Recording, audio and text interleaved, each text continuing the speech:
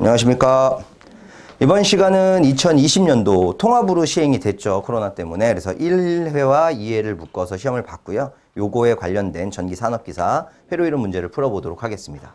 자, 먼저 1번 문제부터 보시게 되면 임피던스 G가 5루트 3 더하기 J의 5 실수와 허수로 나와 있고요. 세 개 임피던스를 Y결선했다라고 나와 있고 선간전압 VL의 크기를 250V라고 줬습니다. 평형 삼상 전원에 연결하였을 때 유효 전력에 해당하는 P값을 구하세요라는 거죠. 자, 일단은 유효 전력이라고 하는 거의 공식을 좀 생각을 해보면 삼상이니까 3, 상이 3개다라는 의미로 VP, IP의 코사인 세타 이렇게 쓰는 게 있고요. 루트 3, VL, IL의 코사인 세타 이 정도는 암기하고 계실 거예요. 물론 단상일 때는 i제곱 r이라는 것도 있었으니까 3ip제곱의 r이다라고 하는 걸로도 풀 수가 있다는 거죠. 저는 얘를 선택을 할 거예요.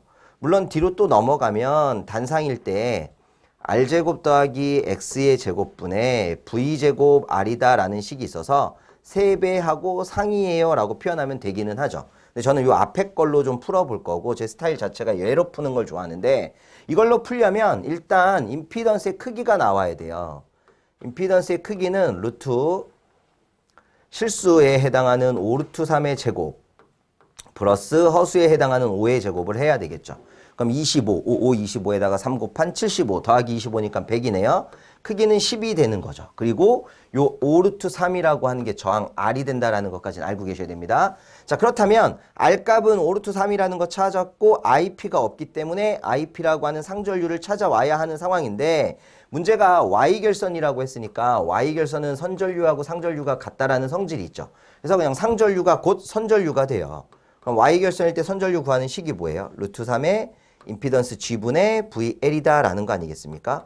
그럼 루트 3 그대로 쓰고 임피던스 G라고 하는 거 크기로 구했더니 10이 나왔고 VL이라는 거 250이 나왔네요. 그래서 요렇게 하나씩 약분을 해 놓는 거죠.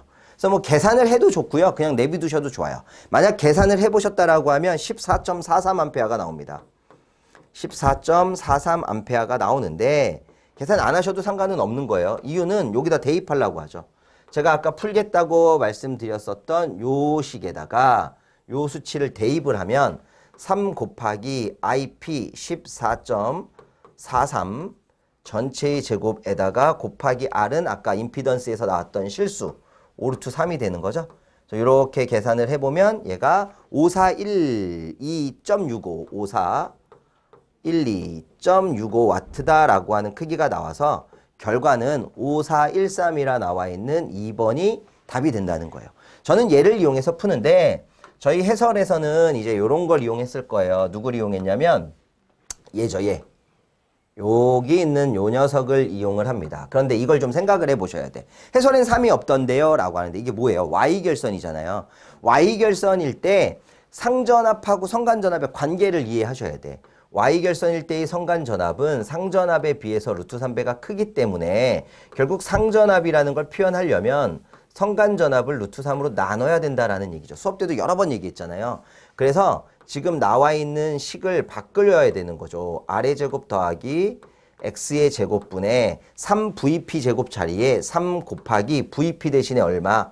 루트 3분의 vl 성간전압으로 표현하고 싶다면 이렇게 써야 된다는 얘기예요. 그래서 루트 3의 제곱한 3과 앞에 변수 3이 약분이 되니까 y결선에서 성간전압으로 요 공식을 이용하실 때는 r제곱 더하기 x제곱분의 vl의 제곱 곱하기 r만 되는 거예요. 절대로 루트 3이 붙는다라고 생각을 하시면 안 돼요. 근데 이런 실수가 자꾸 나오기 때문에 제가 이걸 잘 안 쓰고 그냥 상기준으로 계산을 한다라는 거 수업 때도 눈에 말씀드렸었죠. 결과는 동일합니다. 어느 걸로 푸시던. 자 그럼 2번으로 넘어가시겠습니다. 그림과 같은 회로에서 스위치 S를 T는 0에서 닫았을 때 VL이 100V, DT분의 DI가 400입니다. L값을 구하라는 얘기예요. 간단하죠. L에 걸리는 단자전압 VL식은 L에 DT분의 DI라는 식을 이용할 건데 이 중에 VL이라는 단자전압이 100V라면 인덕턴스는 모르는 상황이고 DT, 시간에 따라서 변화하는 전류 크기가 400이 되어 있습니다. 결국 L은 400분의 100이 되니까 4분의 1이 되는 거죠. 0.25헬리라고 정답해 주시면 되겠네요. 0.25헬리. 다음 문제 넘어가시도록 하죠. 3번 문제는 R1 오민 저항에 R이라는 가변 저항이 연결된 그림과 같은 애로 해서 전류 I가 최소가 돼야 된다라는 조건이 있어요. 자, 전류가 흘러 들어가는 거. 그러니까 합성 전류, 전체 전류잖아요. 메인 전류가 최소가 되려면 뒤에 있는 합성 저항 값이 저항이 최대가 됐을 때 당연히 전류가 최소가 될 수 있다라는 거죠.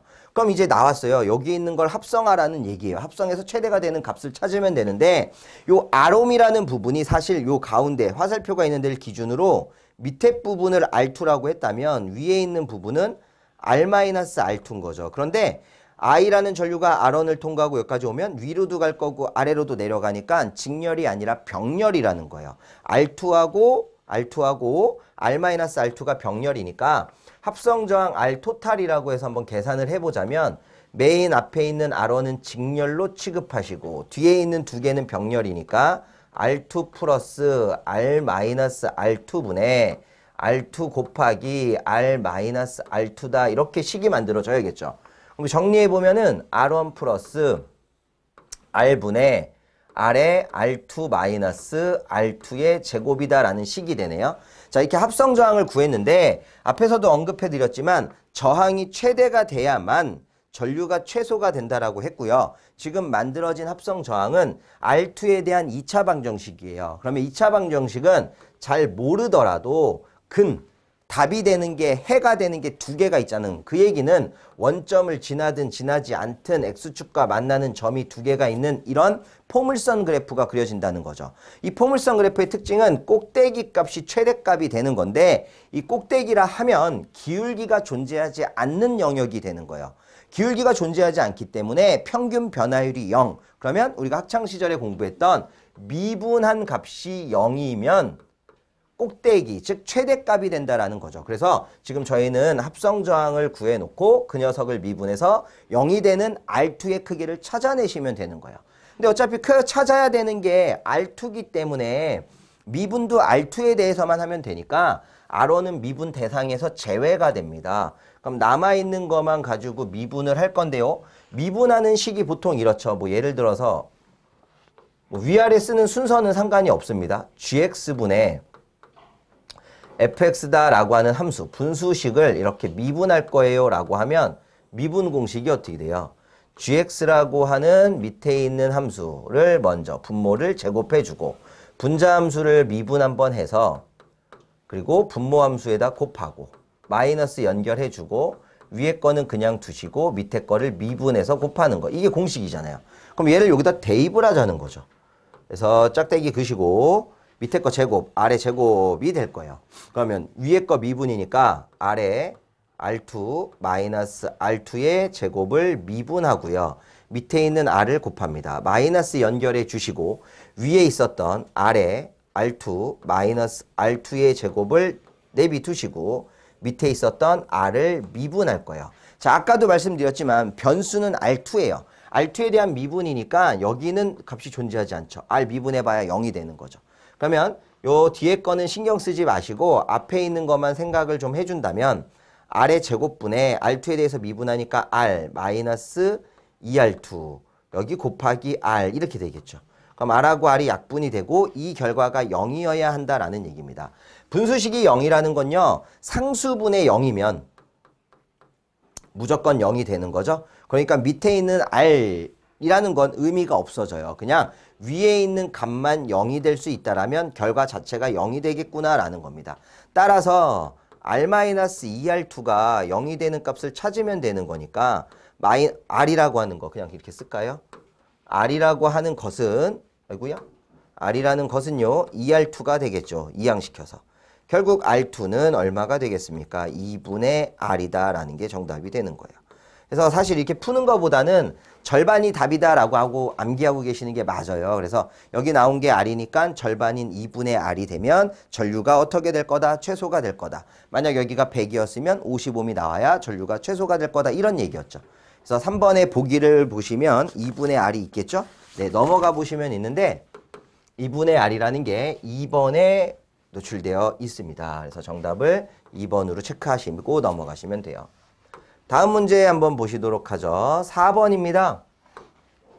다음과 같은 예로에서 VA, VB, VC를 평형 삼상 전압이라고 한대요. 평형 삼상일 때 전압 V0를 구해라. 평형 상삼일 때 V0라고 하는 전이차는 존재하지 않아야 되겠죠? 그래서 0이 되는 거죠. 뭐 이런 거는 문제가 되지 않습니다. 다음 문제 5번 9옴과 3옴의 저항 6개를 그림과 같이 연결하였을 때 A와 B 사이의 합성 저항을 구해라. 자, 그림을 딱 보니까 이 부분 있죠, 이 부분. 3, 3, 3이라고 하는 이 노란색 부분은 Y결선의 형태가 되는 거죠. 그래서 실제로 요거를 델타 결선으로 한번 바꿔 볼게요. 델타 결선으로 바꾸면 요 노란색 부분을 델타로 좀 바꿔 보겠습니다. 뭐 예를 들어서 요렇게 하나, 이렇게 하나, 그리고 요렇게 하나, 이렇게 바꿨다고 치죠. 그러면 요게 평형삼상이니까 y가 델타로 바뀌면 세배가 돼야 돼요. 뭐 이제 y 결선을 보통 델타 결선으로 바꿀 때 대각선분의 돌려곱합이라는 식을 쓰기는 하지만 어차피 평형이니까 세배가 되면 9, 9, 9라는 얘기가 되죠. 그럼 999라고 하는 델타에 또 다른 9, 9, 9라는 게 각각 병렬로 접속이 된 회로라서 실제로 요 회로는요. 예를 들면 뭐 보기 좀 편하게 그려드리면 요런 회로가 되는 거예요. 9옴, 9옴, 9옴에 각각의 병렬로 하나, 또 하나, 또 하나 이렇게 뭐 붙어 있다라고 보는 거죠. 근데 붙어 있는 게 전부 다 얼마씩이라는 거예요. 9씩이라는 거고 A 단자와 B 단자가 이렇게 있다라는 의미예요. 그래서 9하고 9가 병렬이니까 n분의 r로 합성 저항을 구하면 합성 저항이 한쪽이 4.5가 되죠. 그럼 이제 문제는 끝나요. 그냥 델타 결선으로 그림을 옮겨서 델타 형태의 모양으로 그림을 옮겨주되 이 하나의 저항은 9하고 9가 합성된 4.5가 되는 거죠. 4.5 여기도 4.5 여기도 4.5 이게 등가회로가 된 거예요. A단자 B단자 자 그럼 여기서 합성 저항 구하는 건 단순하잖아요. 뭐 이걸 또 뭘로 바꾸는 게 아니라 전류가 4.5와 4.5까지는 직렬로 연결되니까 이 부분의 합성 저항은 9옴이 될 거고 다시 이렇게 나눠지는 4.5하고는 병렬이 되는 거라서 RAB라고 하는 합성 저항을 구하게 되면 9 더하기 4.5분의 9 곱하기 4.5 합분의 곱이 되죠. 그래서 이걸 계산기로 눌러주시면 약 3이라고 하는 결과가 나오게 되겠습니다. 3옴이라는 값이 나온대요. 그래서 등가 회로를 그리실 수만 있다라면 어렵지 않게 풀 수 있었던 문제가 되겠죠. 다음으로 넘어가시겠습니다.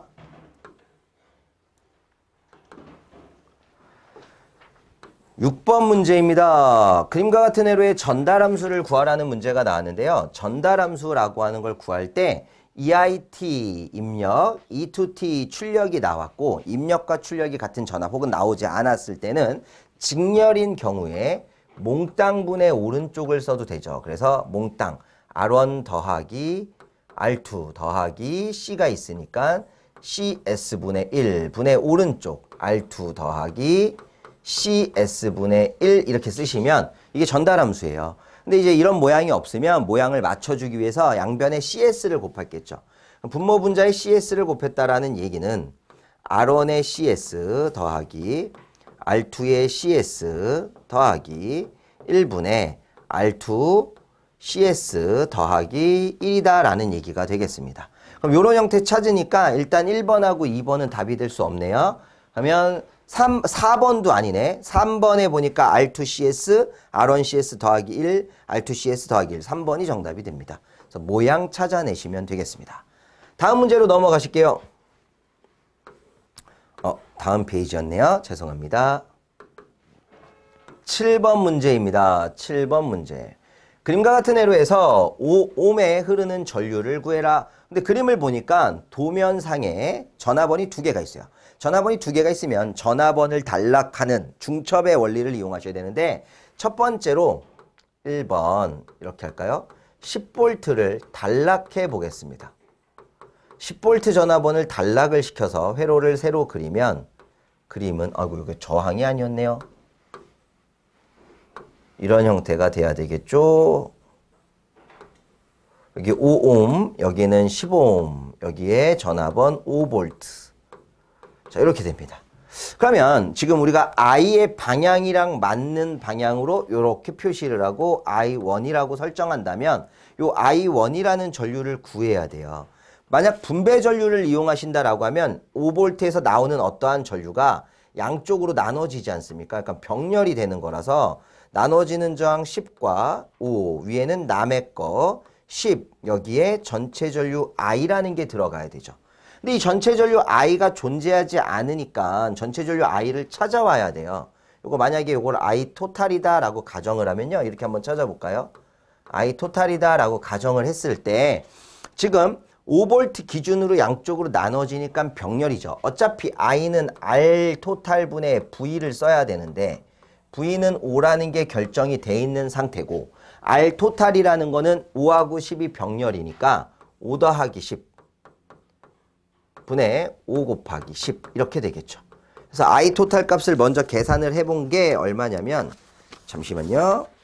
넘겼어야 되는데 안 넘겼어요. 어, I 토탈 값이 1.5 정도가 나오나 봐요. 1.5 네, 1.5 암페어가 나온다고 합니다. 여기가 어차피 보면 이렇게 되죠. 15 계산을 제대로 안 해갖고 갖고 해봐야 돼요. 50 여기가 1분의 5 그러면 50분의 5 곱하기 15 그러면 53 2 5 3 2분의 3이네. 1.5 맞죠? 1.5라고 하는 I 토탈 전류가 나오니까 여기다 누면 15분의 10 곱하기 1.5라는 거 2분의 3이었죠. 2분의 3 이렇게 둘게요. 그럼 3, 5, 15, 5, 20, 2, 2는 약분해서 1이네요. 그냥 1A라는 전류를 얻어내는 거예요. 이게 분배 전류를 이용해서 푸는 방법이었고 1A 찾아내는 게 근데 이게 사실 분배 전류를 이용하지 않아도 되는 방법이 있거든요. 그거는 이제 조금 센스가 있으셔야 되는데 그냥 보면 잘 모르시는 분들이 있어요. 근데 사실은 이게 5볼트를 기준으로 10옴과 5옴이 양쪽으로 전류가 나눠지니까 병렬이잖아요. 그럼 등가 회로를 그려보면 예를 들면 아이고 전류원이 아니죠. 전압원이었죠. 이런 회로랑도 같다라는 거죠. 그래서 여기가 5, 여기가 10, 여기 전압원이 5볼트. 우리가 구하고자 하는 거 여기 I1. 그죠? 그럼 이 I1은요. 병렬일 땐 전압이 일정하니까 I1은 굳이 분배하지 말고 R분의 V 이용해서 R5분의 V5 해도 똑같이 얼마 나와요?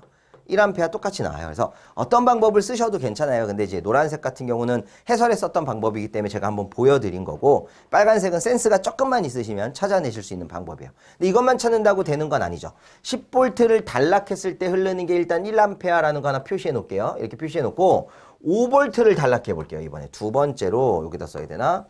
두 번째로 5볼트를 단락한 그림을 그리겠습니다. 전화번은 단락이고 전류원은 개방인 건 알고 계셔야 됩니다. 그러면 여기 전화번 하나, 여기 저항 하나, 5V 단락, 여기 저항 하나. 자, 어쨌든 여기가 5옴이고 여기 흐르는 걸 I2로 봐야 되고 여기가 10옴이었어요. 전압이 몇 볼트짜리였죠? 10볼트짜리였네요. 자, 근데 이거는 의미가 없는 게 전류가 플러스에서 마이너스를 흐르니까 10옴까지는 흘러요. 그럼 여기까지 와서 이제 고민이 되는 거야. 5옴으로 갈 거냐, 단락된 대로 갈 거냐. 당연히 단락된 대로만 전류가 흐르겠죠. 그죠?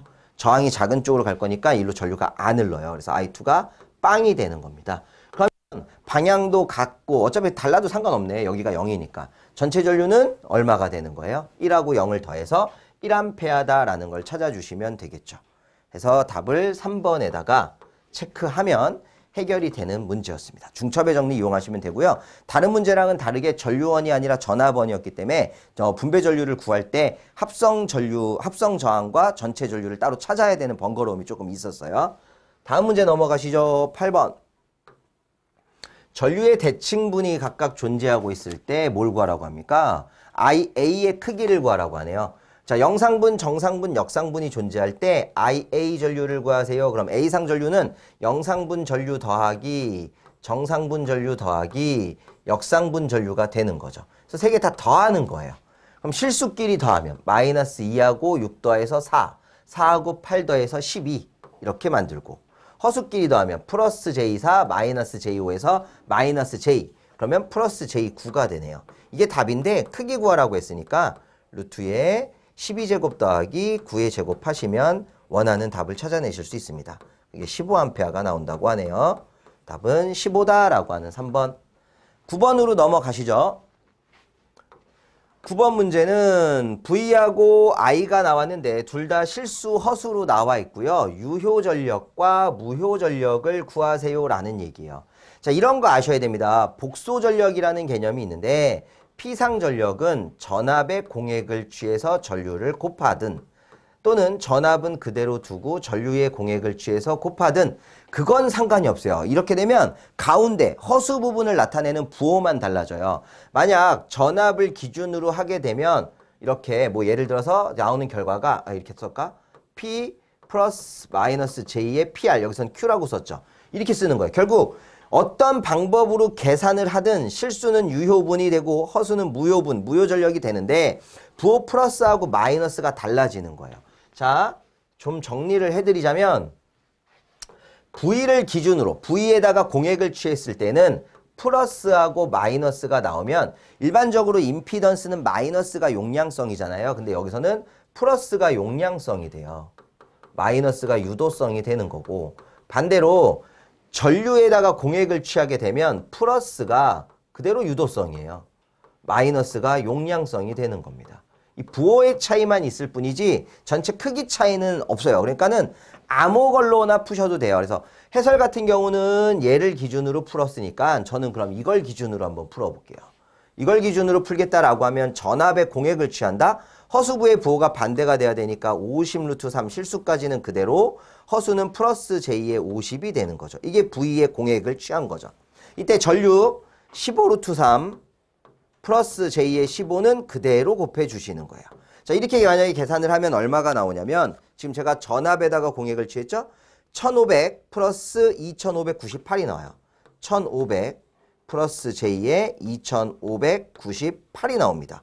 이렇게 나온다 한들 유효분 1500이 달라지진 않잖아요. 그래서 유효분 1500이라고 나와 있는 2번이 무조건 정답이 되는 거고 무효전력이라고 하는 2598을 계산해 보면 1500 루트 3을 계산했을 때 2598이에요. 그런데 부호가 플러스인데 왜 마이너스예요? 얘는 그러면 이걸 기준으로 안 푼 거죠. 요거 기준으로 푼 거예요. 그래서 전류에다가 공액을 취해서 풀어놓은 거 보니까 부호가 허수부에 있는 부호만 마이너스로 바뀌잖아요.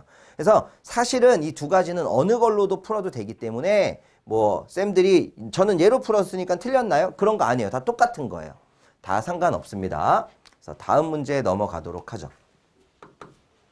열 번째 문제입니다.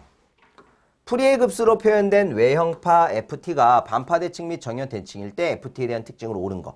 정연 반파 대칭이라는 얘기예요. 그럼 반파의 성질과 정연파의 성질을 모두 가지고 있어야 돼서 정연파는 원점 대칭인 사인파가 되는 거고 반파는 기수라고 하는 홀수만 갖게 되는 거죠. 그럼 요걸 갖고 있어야 되니까 정연항에서는 상수항은 BN이 BN만 있죠. BN 뒤에 사인 들어가잖아요. BN 뒤에 사인 들어가니까 BN항만 존재하고 얘는 존재하면 안 되겠죠. 그럼 BN의 기수항이 존재한다라고 하는 4번이 정답이 되겠네요. 일단 A에는 존재할 수 없으니까 버리고 홀수 있기 때문에 우수라는 건 아니고 기수가 되는 거죠. 간단하게 풀어볼 수 있었던 문제였습니다. 11번 문제가 나왔습니다. 한번 볼게요. 그림과 같은 회로에서 L2에 흐르는 전류 I2가 I2가 여기 있는 I2가 단자전압 V보다 위상이 90도 뒤져야 된다. 쌤 위상이 90도 정확하게 90도 뒤진다는 건 L만의 회로라는 얘기가 되죠. L만의 회로. L만의 회로가 유도성 전류 유 그죠? 90도 뒤지는 거예요. 그런 조건을 찾으라는 거네요.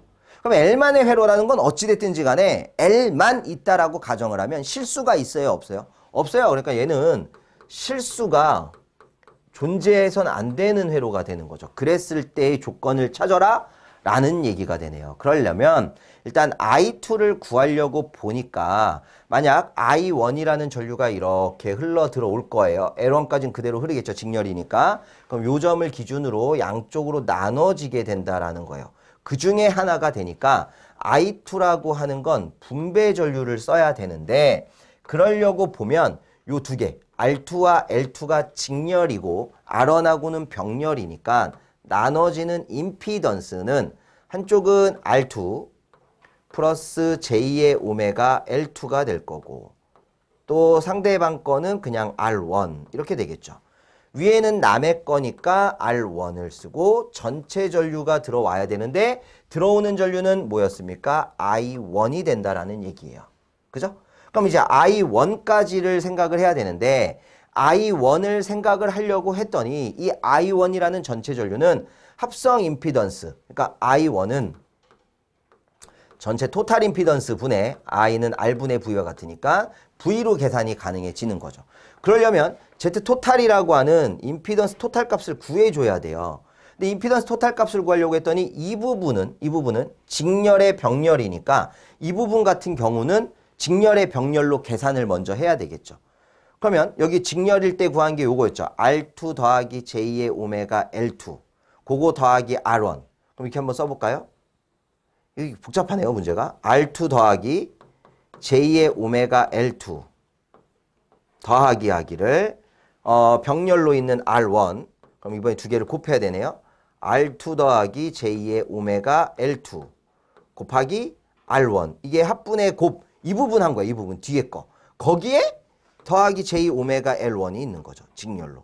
이게 합성 임피던스가 되니까 I1은 이것 분의 V다라는 걸 써야 돼요. 이걸 그럼 짧게 못 푸네. 여기다가 넘어가서 한번 더 이어서 한번 가보겠습니다. 결국 I2라고 하는 전류식을 다시 한번 쓰면요 R2 플러스 J의 오메가 L2 더하기 R1분의 R1 곱하기 I1이었는데 I1은 임피던스 토탈분의 V니까 짝대기 하나 거놓고 V 하나 쓰면 되고요. 임피던스 토탈도 구했죠. 짝대기 또 하나 그고 R2 더하기 J 오메가 L2 여기에다가 더하기 R1 에다가 R2 더하기 J 오메가 L2 곱하기 R1 다시 더하기 J 오메가의 L1 이렇게 계산을 해서 이 부분에 나오는 실수가 없어지게끔 찾으면 문제에서 원하는 답이 나올 것 같아요. 조금 시간이 걸리더라도 쓴 김에 한번 해보겠습니다. 쌤 일단 제가 요거는 나중에 계산을 할 거니까 계속 땡땡 이렇게 갈게요. 어, 좀 귀찮고 보기 힘드시더라도 이해는 해주셔야 돼. 요렇게 땡으로 해서 계산을 할 겁니다. 땡땡 곱하기 있는데 땡땡 곱하기 있는데 여기를 전개를 한번 해볼게요. 전개하면 여기 밑에 있는 거는 R1 플러스 R2 플러스 J 오메가의 L2 이렇게 밑에가 될 거고 위에 전개했더니 R1 R2 플러스 J 오메가의 L2 곱하기 R1 이렇게 되네요. 거기 더하기에 J 오메가 L1이라고 하는 게 있잖아요. 그럼 J 오메가 L1이라는 걸 더하려면 부모는 일단 똑같아야 되네. R1 더하기 R2 더하기 J 오메가의 L2 이렇게 써놓고 써놓고 여기다가 J 오메가 L1에다가 곱하기 R1 더하기 R2 더하기 J의 오메가 L2 이렇게 쓰면 조금 원초적이긴 해도 정확하게 갈 수 있겠죠? 이렇게 그럼 조금 더 이어서 가야 되네요. 자 여기서 또 이어서 가겠습니다. 요 지금 앞에 건테는 땡땡 계속 가고 있는 거예요. 땡땡 가고 있는 상태에서 뒤에 것만 짝대기 하나 긋고 V 그대로 쓰고요. 이거 짝대기 또 하나 길게 거야겠네요. 그래 놓고 R1 더하기 R2 더하기 J의 오메가 L2까지는 통분시킨 거라고 같게 보고 R1 R2 플러스 J의 오메가 L2의 R1 이 부분 이제 전개하겠습니다. 색깔 좀 바꿀게요. 색깔을 바꿔서 전개하면 플러스 J의 오메가 L1의 R1 더하기 J 오메가 L1의 R2 플러스 J 제곱의 오메가 제곱의 L1 L2 이렇게 만들어지고 위에 V 있었던 거죠.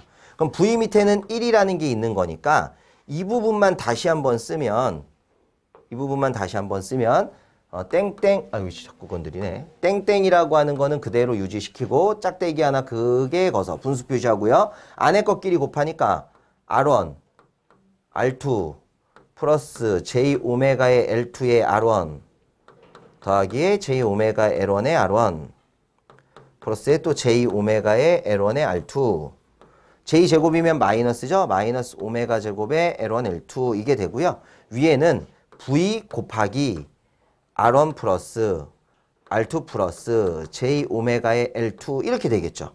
자 그러면 이제 여기서 앞에 곱해져야 되는 걸 그대로 데리고 올게요. 앞에 곱해져야 되는 거, 오, 이렇게 높아. R1 더하기 R2 J 오메가 L2분의 R1이었어요. 그러면 이거죠. 곱해져야 되는 숫자가 이거 이제 이거 땡땡이를 지우고 곱하기 이렇게 써서 R1 더하기 R2 더하기 J 오메가의 L2분의 R1이었나요? 이거 했잖아요. 그러면 요 부분 R1 더하기 R2 더하기 J 오메가 L2 여기 R1 더하기 R2 더하기 J 오메가 L2 약분하고 R1만 1로 곱해지면 되니까 결국에 여기서 결국에 여기서 남는 거는요 두 개 약분된 거예요. 그러면 안 쓸게요. 이제 이제 이제 더 안 써도 될 것 같아요. 어차피 약분돼서 없어졌고 곱하기 R1하고 V1이니까 지우개로 이 부분을 싹 날리고 여기도 날리고 여기도 날리고 곱하기 누구만 써주는 겁니까? R1만 써주고요. 그럼 이 부분이 없어진 거죠. 최종적인 결과가 이렇게 나온다는 거예요. 그게 지금 우리가 구한 I2 값이 되는데 아까 얘가 L만의 회로 즉 위상이 90도 뒤져야 되는 L만의 회로가 되려면 어쨌든 허수만 남아야 된다는 얘기예요. 실수가 없어야 되니까 실수부에 해당하는 걸 생각을 해보죠. 실수부에 해당하는 건 R1, R2 그죠? 또 어디 있어? 여기 있네. 마이너스 오메가 제곱에 L1, L2 이렇게 되는 거잖아요. 그럼 결국에 좀 더 올릴까요? 실수부가 없어져야 되는 거 더 올라가지도 않네. R1, R2 마이너스 오메가 제곱에 L1, L2가 0이면 된다라는 거죠. 따라서 답에 나와 있는 것처럼 형태를 바꿔주면 R1 곱하기 R2가 오메가 제곱에 L1, L2면 그러면 얘는 실수부가 존재하지 않는 회로가 되네요. 그래서 위상이 90도 뒤질 수 있네요. 라고 하는 되게 복잡한 문제이긴 한데 답은 찾았어요. 한번 찾아볼까요? 답이 몇 번에 있나? 어디 있냐? 그럼 얘가 R1, R2, 오메가 제곱 L1, L2 4번에 이거랑 동일한 모양이 4번에 있습니다. 4번에. 그래서 4번으로 넘어가셔서 4번에 보시면 정답이 된다라는 문제였어요. 그러니까 이거는 그냥 단순 야 이렇게 얘기도 되나 온라인상에 노가다죠 노가다. 왜 이런 문제를 냈는지 모르겠는데 그냥 다른 식으로도 충분히 물어볼 수 있음에도 불구하고 굳이 꼭 이렇게까지 물어봐야 돼야 되는 이유는 저는 모르겠지만 여튼 나왔으니까 풀어는 보는 거고 포인트는 개죠. L만의 회로가 돼야 되는 거라서 실수부가 존재하지 않게끔 회로를 만들어주는 거예요. 그러면 결과를 만들어낼 수 있습니다. 네, 사실 시험장에서 이런 걸 시간 안에 푼다? 불가능해요. 답으로 보시는 게 맞겠죠. 넘어가시겠습니다. 다음 문제로. 12번 문제입니다. RC 직렬 회로의 과도 현상에 대한 설명. 근데 RC 직렬 회로에서의 과도 현상에서는 전류식 IT가 어떻게 나와요? R분의 2에다가 1 마이너스 익스포넨셜 마이너스 L분의 RT 이게 전류식이죠? 해서 특성근이라는 알파는 마이너스 L분의 R이고 시정수라고 하는 타우는 특성근의 절대값의 역수가 되기 때문에 R분의 L이 되는 거죠. 이 시정수의 단위는 세크가 되는 거고 시정수가 커졌다라는 건 과도 현상이 오래 지속된다. 즉 정상 상태에 도달하기까지 시간이 오래 걸린다라는 의미잖아요. 그러면 이거 한번 볼게요. 아 이거 RC네. 저 RL로 해놨는데. 죄송해요. 이건 RL이에요. RL. RL인 문제 RL인 줄 알았는데 RL이 아니었네요. RC였네요. 다시 쓸게요. 에이 문제를 읽고도 이래. 자, RC여서는 RC에서는 전류식 IT가 그냥 R분의 2배의 익스포넨셜 마이너스 RC분의 1T가 되는 거죠. 그러면 여기서는 특성근이라는 알파가 마이너스 RC분의 1이고 시정스 타우가 특성근의 절대값의 역수가 되기 때문에 RC예요. 나머지는 똑같아요. 시정수가 길어진다. 커졌다. 시, 간이니까 그러면 과도현상이 오래 지속된다. 이 얘기니까 1번부터 RC 요게 지금 시정수 타우잖아요. 타우의 값이 클수록 과도 전류는 빨리 천천히 사라져야지. 그래서 옳은 것 찾아야 되니까 어 이거네요. 2번 RC 값이 클수록 과도 전류는 천천히 사라진다. 과도기가 오래 지속된다. 어, 뭐 별거 아니었습니다. 다음 문제 13번째 문제입니다. 용량이 50kV 암페어인 단상 변압기 세대를 델타 결선에서 3상으로 운전하는 중에 한 대의 변압기에 고장이 발생합니다. 그러면 이거는 V 결선이라는 얘기죠. 그래서 PV 결선의 출력은 루트 3K라고 저희가 이미 암기하고 계실 거고 K가 변압기 한 대의 용량이라면 한 대가 50이니까 최대 출력으로 계산할 수 있는 건 50 루트 3밖에 안 나오겠죠. 2번이 정답이 되겠습니다. 14번째 문제. 각 상전류가 순시치로 나왔네요. 이랬을 때 영상분 전류를 구하래요. 사실 영상분 전류다라고 하면 I0는 3분의 1배의 IA 더하기 IB 더하기 IC가 돼야 돼요. 그래서 원칙상 IA, IB, IC를 더하려면 이 순식값을 실수 허수로 바꿔야 되니까 예를 들면 크기는 루트 2분의 30 그리고 여기에다가 누구 넣어야 돼요? 코사인의 0도 더하기 J사인의 0도 이런 식으로 해서 실수헛으로 다 바꿔야 돼요. I, A, I, B, I, C를 이렇게 다 바꿔야 되는데 저희가 이제 센스를 조금 발휘할 수 있는 건 어차피 결과가 마지막에 가서 또 순시치로 바꿔야 되니까 이렇게 실수헛으로 한 걸 순시치로 또 한 번 바꿔줘야 되잖아요. 그러니까 귀찮아서 요거를 봤죠. 마이너스 90과 플러스 90 서로 상쇄되니까 허수부가 없겠네. 그럼 허수부 없으니까 실수부만 존재하겠네. 근데 그걸 3으로 나눌 거니까 그냥 아예 여기 나와 있는 IA의 3분의 1배 한 걸 찍자. 그래서 얼마라고 했었어요? 10에 사인의 오메가 t다라고 하는 거 그냥 찍으면 되는데 10의 사인 오메가 t라고 하는 게 어디 있습니까? 1번 이렇게 가는 거죠. 근데 이거는 엄연히 말하면 야매가 되는 거예요. 정석은 노란색처럼 하나하나 다 분해를 해야 돼요. 다 분해를 해서 실수 허수끼리를 더해. 더한 다음에 3으로 나눠주세요. 그리고 그 결과를 다시 순식값으로 바꾸려면 크기를 구해서 루트 2배를 해줘야 된다는 거죠. 근데 그렇게 하면 시간이 오래 걸리니까 이런 경우에만 마이너스 90 플러스 90으로 허수부가 상쇄될 수 있다는 걸 눈치를 챘으면 그냥 바로 가자. 3으로 나눠서. 그러면 1번이 정답이 되겠습니다. 넘어가실게요. 15번 문제입니다. Ft가 sin t 더하기 2 코사인 t를 라플라스 변환하라고 하면 선형 정리잖아요. sin t에 대한 라플라스 변환은 어떻게 됩니까? s제곱 플러스 오메가 제곱이 1이니까 1분의 1 더하기 2배의 코사인 t는 s제곱 더하기 1분의 코사인 앞글자 s 결국 분모가 똑같네요. s제곱 더하기 1분의 2s 더하기 1이다 라고 하는 게 정답이 되겠습니다. S제곱 더하기 1분의 2S 더하기 1이라고 하는 3번이 15번의 정답이라고 보실 수 있겠죠. 다음 넘어가시면요. 16번째 문제가 나오는데 어떤 회로에 흐르는 전류가 비정연파예요. 직류분과 일고보촉파, 기본파가 합성되어 있습니다. 시료값을 구하라고 했고 전류죠. 그러면 비정연파의 시료치는 각 고조파의 시료치의 제곱의 합의 제곱근이에요. 그러면 직류분은 그 자체가 실효값이니까 7의 제곱 플러스 기본파 14.1을 루트 2로 나눈 10의 제곱이 되는 거죠. 계산기 누르게 되면 12.2라고 하는 크기가 나온다라는 얘기예요. 이런 거는 thank you 합니다 라고 하실 수 있겠죠. 다음으로 넘어가셔서 17번째 문제입니다. 어떤 전지에 연결된 외부 회로의 외부 회로의 저항은 5ohm일 때 그때 전류가 8A래요.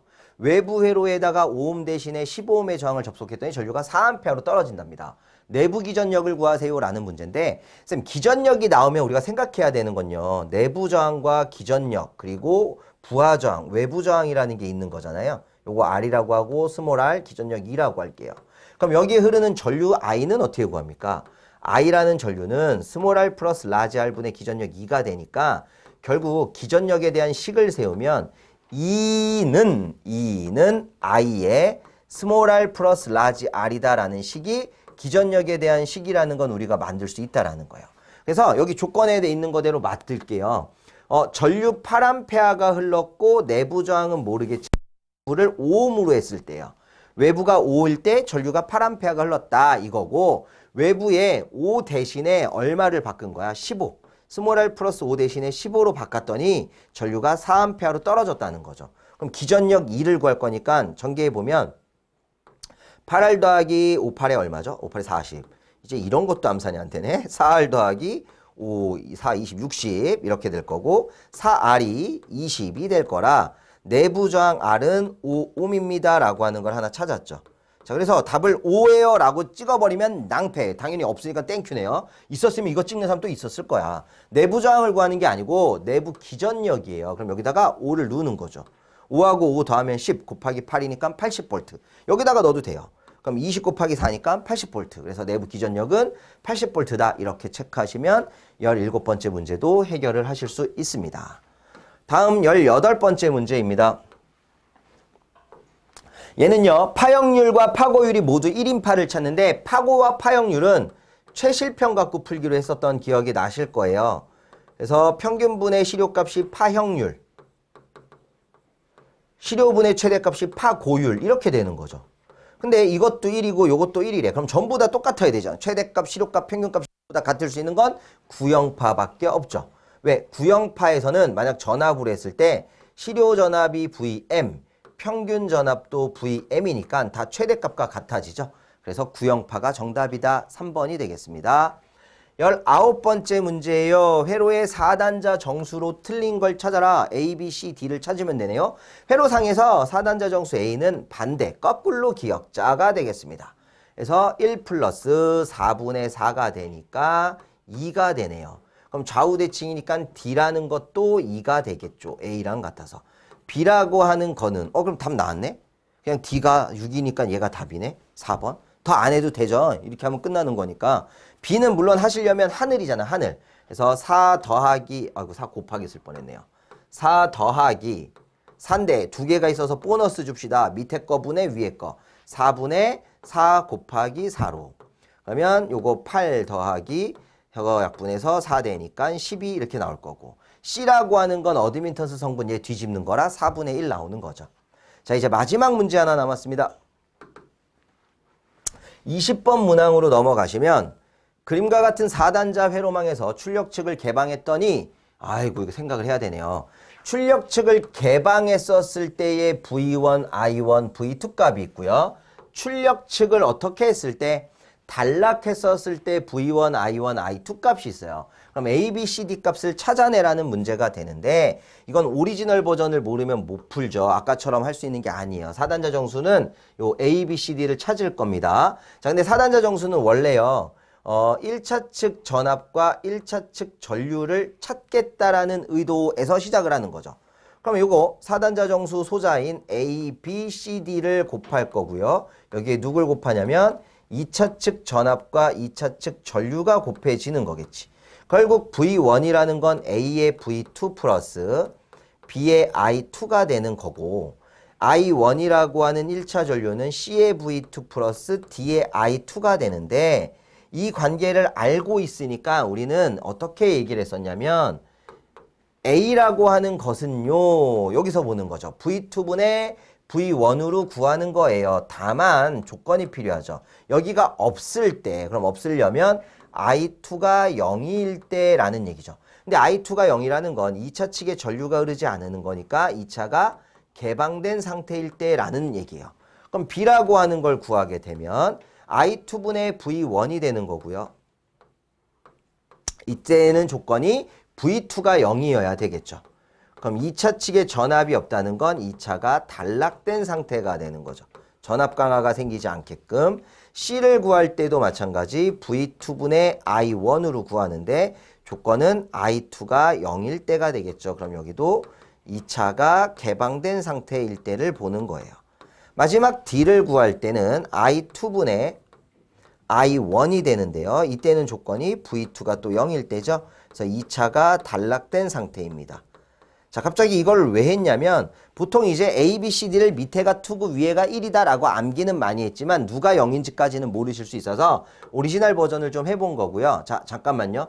요 상태에서까지만 볼게요. 여기서 문제 아까 읽다가 보면 출력 측이 개방, 2차가 개방됐을 때 전압들이 나와 있죠. 그럼 2차가 개방됐을 때 2차 개방, 2차 개방을 찾는 거예요. 그럼 2차 개방일 때 V2 값이 얼마라고 나왔습니까? 4. V1 값은 얼마예요? 10이니까 여기는 3이 나와야 되는 거예요. 마찬가지 V2 값은 얼마가 나왔다고요? 4. 다음에 I 이거 1인데 왜 안 썼지?